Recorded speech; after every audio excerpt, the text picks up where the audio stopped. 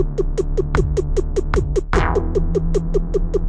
had two bags of grass, 75 pellets of mescaline, five sheets of high-powered blotter acid, a salt shaker half full of cocaine, a whole galaxy of multicolored uppers, downers, screamers, laughers, also a quarter tequila, quarter rum, case of beer, a pint of raw ether, two dozen amyls.